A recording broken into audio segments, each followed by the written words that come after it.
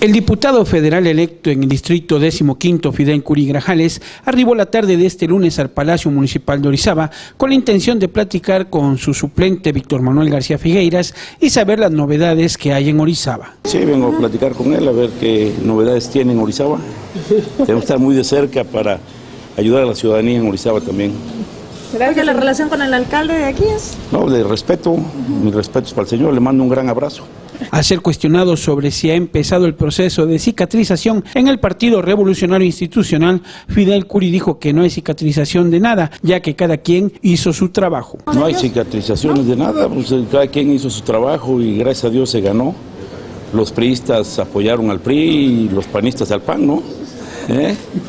Todo está bien, ya somos diputados y vamos a trabajar para los orizabeños, para todo el distrito.